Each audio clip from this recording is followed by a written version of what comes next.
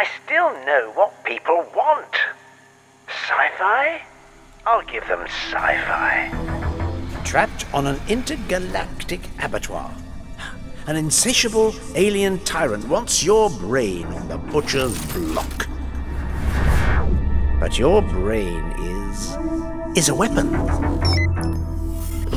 Seize enemies with psychokinetics and jump from body to body to stay one step ahead.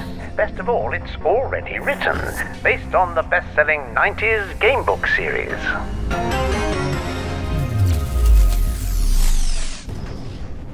Don't know. Kids don't want 90s. Ah, that's it. They want a twist. I'll give them a twist.